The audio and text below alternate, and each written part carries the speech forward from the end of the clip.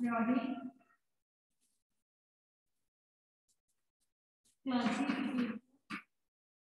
of elements. Okay.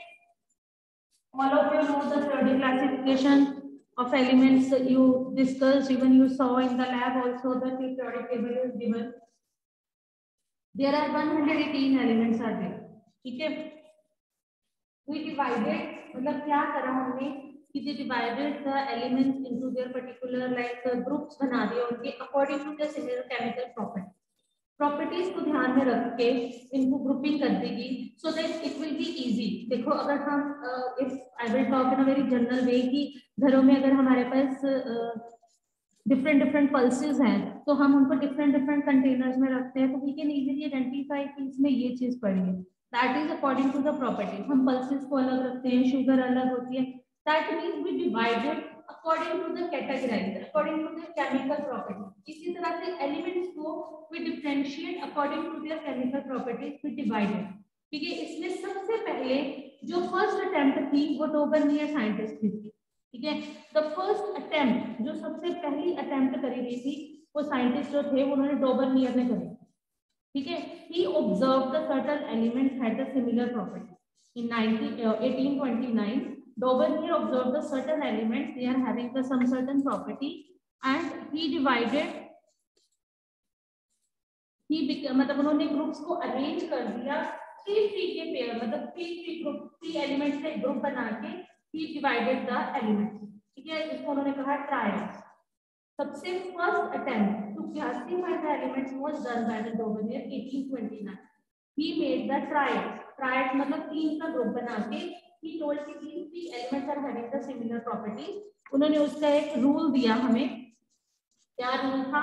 सबसे पहले लिखो, जो साइंटिस्ट थे, डोबर किया। डोबर।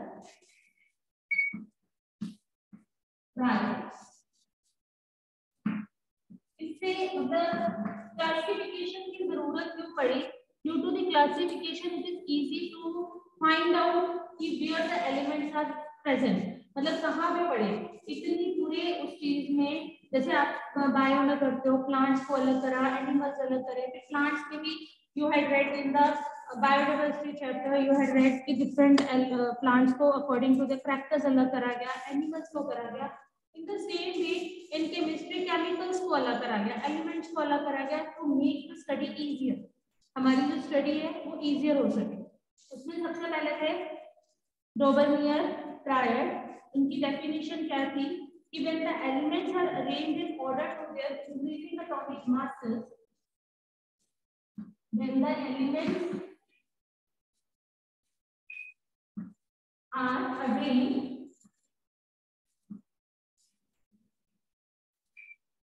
in their increasing atomic masses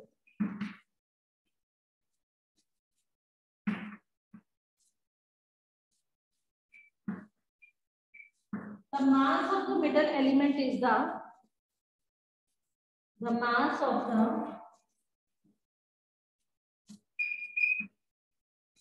middle element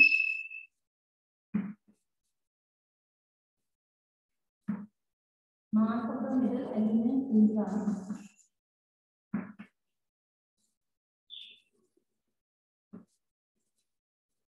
arithmetic mean of arithmetic mean of average atomic mass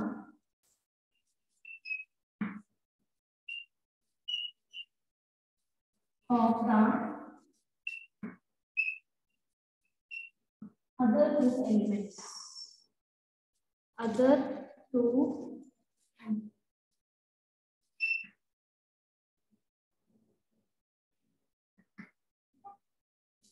This was the definition or the statement that when the elements are arranged in order of increasing atomic masses, okay, the mass of the middle element is the arithmetic mean of the average atomic mass of the first or the third element या the two elements.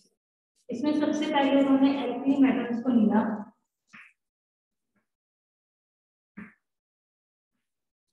Alkyl metals का group उठाया इन्होंने, जिसमें उन्होंने लिया लीना की that lithium, sodium, potassium. पहला ट्राइड उन्होंने लिया, लिथियम, सोडियम, पोटाशियम। लिथियम का मास नंबर होता है सेवन पोटाशियम का मास नंबर होता है थर्टी नाइन ठीक है अब इनकी डेफिनेशन के अकॉर्डिंग क्या था कि the middle mass of the middle element is the arithmetic mean of the average atomic masses of the two that means 7 plus 39 divided by 2 ठीक है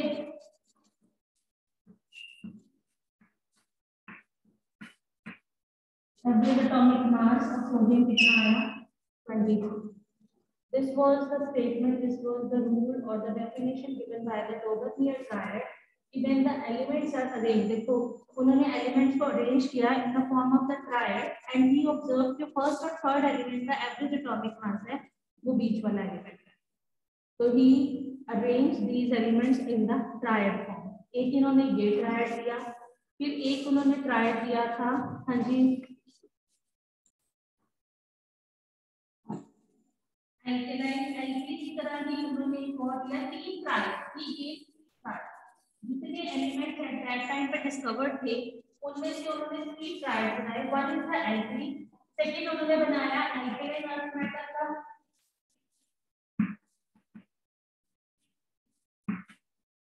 अच्छा ये बहुत ध्यान से कर लेना क्योंकि मेन आपको आना है एल्केलाइन मेटल उन्होंने लिया कैल्शियम स्ट्रोंशियम बेरियम ठीक है? Calcium potassium barium forty one thirty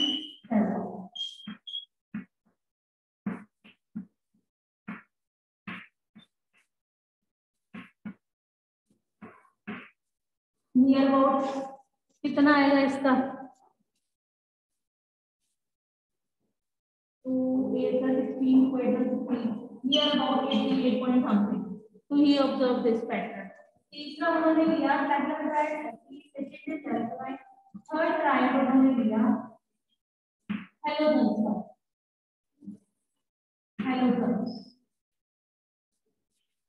ठीक है थर्ड ट्राइड उन्होंने लिया हेलोजन्स का फ्लोरीन क्लोरीन ब्रोमीन का ये ऑब्ज़र्व द थर्ड वाला जो है या उसका ले लो chlorine bromine iodine thirty five point five होता है। आप दोनों में से कुछ भी लिख सकते हो अभी यहाँ पे। Thirty five point five. Then bromine का होता है मेरे पास वन ट्वेंटी सेवन इसका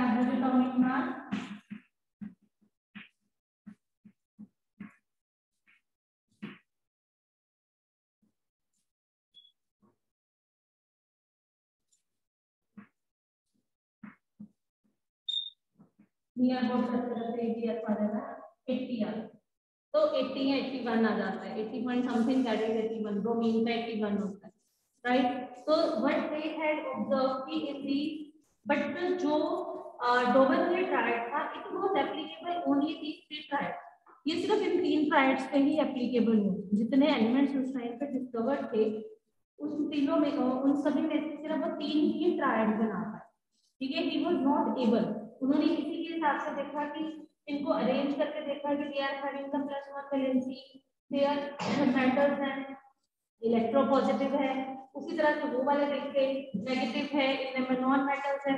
By this he gave only this three prices ठीक है? This was the limitation he fail to arrange the all the non element इतने एलिमेंट्स नॉन थे he was not able to arrange all these elements so write down the limitation or the drawback in each one write down drawback or limitation of the Doberman triad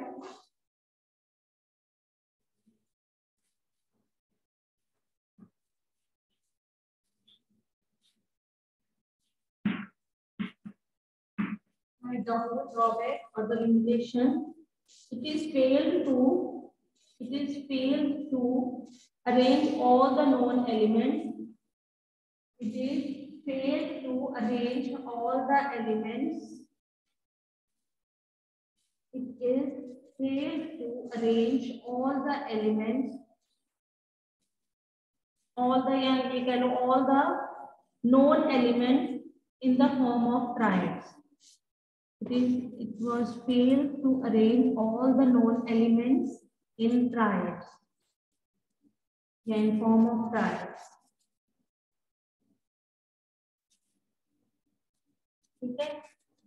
इन्होंने सिर्फ़ हमें तीन ही triads दिए। वो is not able to arrange all the elements जितने non elements at that time के थे वो is not able to arrange the arrange the triad so that was not good तो उनका जो मतलब मेन मोटिव था मोटिव वो डिस्कार्ड हो गया। बट इसमें मतलब after the discovery of these triad naturally scientist को क्यूरियोसिटी हो गई। Because they when one thing comes ना लाइक तो सभी की क्यूरियोसिटी स्टार्ट हो गई and everyone wants to know the other way to differentiate to arrange the elements in the periodic table तो इतनी बार साइंटिस्ट ने बहुत ज़्यादा इस चीज़ के ऊपर फोकस करा। देन द नेक्स्ट इनके बाद साइंटिस्ट ने करा, वो थी न्यूलैंड लाओ पॉपलेट इनके बाद ये डिस्कवरी करी डॉबरनियर के बाद सेकेंड साइंटिस्ट की Newland law of optics Newland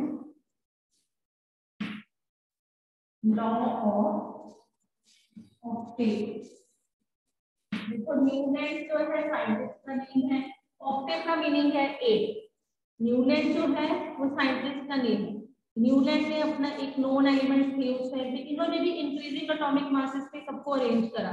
तो इन्होंने भी एक पैटर्न ऑब्ज़र्व करा। When he was doing experiment he was trying to arrange the element he also observe मैं फिर वही बोल रही हूँ कि हर इंसान एक अपने वे से एक तरीका ढूंढता है टू लर्न और to find the familiar method to learn the all the elements so when he saw he saw some different uh, criteria over what was that write down the definition when the elements are arranged in the increasing atomic masses देखो मैं बार बार अभी increasing atomic masses word use कर रही हूँ when the elements are arranged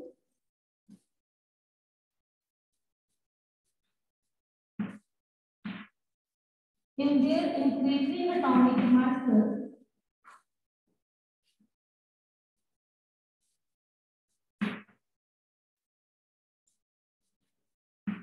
the mass of the every eighth element increasing atomic masses the properties of your properties kya lo the properties of the eighth elements are the repetition of the first element. Properties of every eighth element is the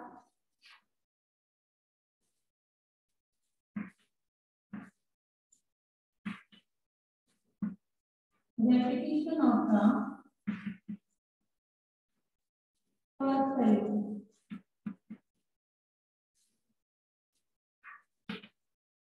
We observe this pattern when the elements are arranged in the increasing atomic masses.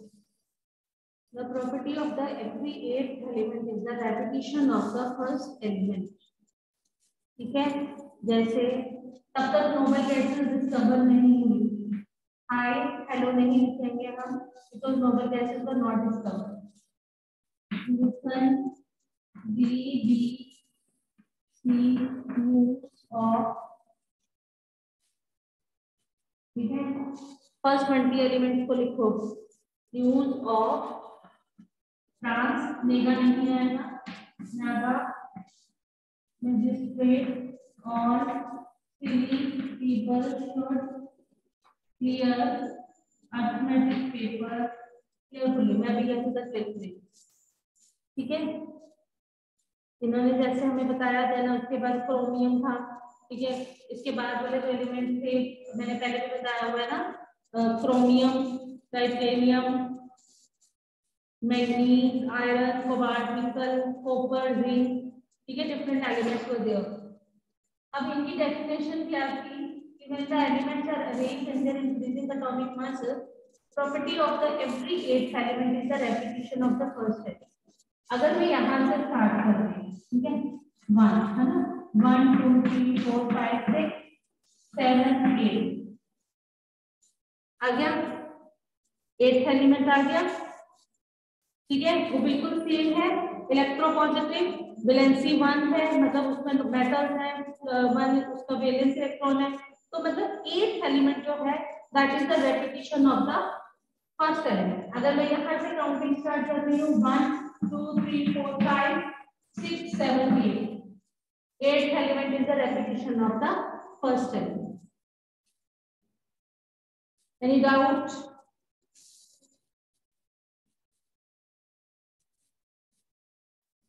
ठीक है? But हाँ जी। Limitations write down the limitation.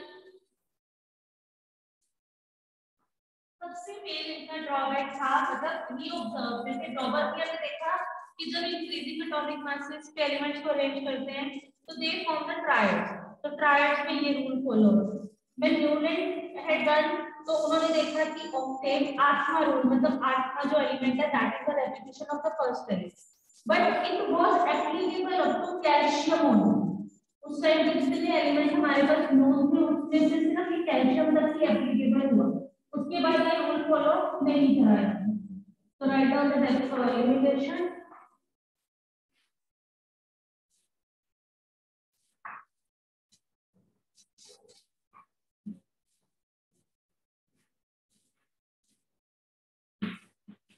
limitation and drawback one of the same thing write down the first limitation It was applicable to the classification of elements up to calcium only.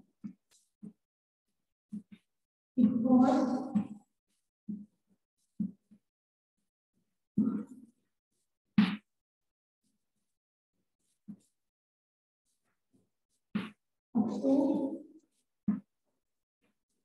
calcium. ये सिर्फ़ और सिर्फ़ calcium तक applicable था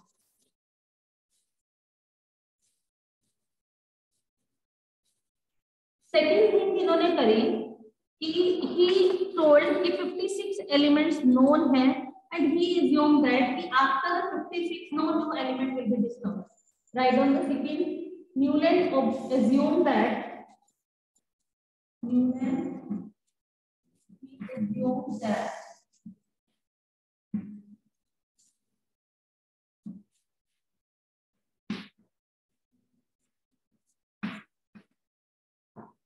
assumed that only 56 only 56 elements existed in nature. 56 elements existed in nature. And no more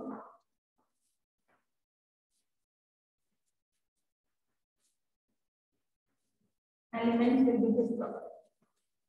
No more elements, no more elements would be. तो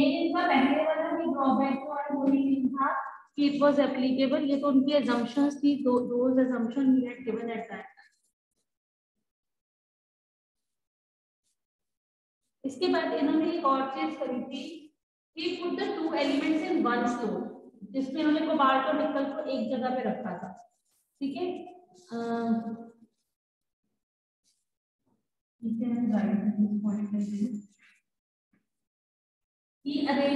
to elements in one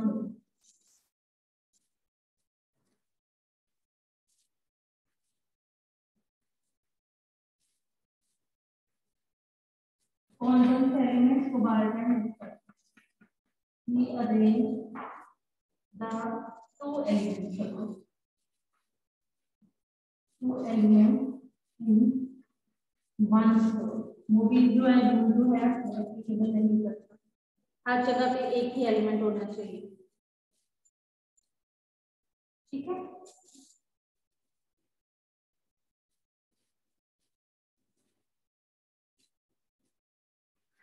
इसके बाद ये भी जो है हमारे पास स्टार्ट हो गया। देन हमारे पास Dobereiner's after that Mendel Newland then हमारे पास इसके बाद फिर जो है वो पीक लेवल पे चलेगी। देन हमारे पास आए थे इसके बाद हमारे पास मैंडल पीरियोडिक टेबल वो कल डिस्कस करेंगे। यहाँ तक किसी को डाउट है तो पूछो।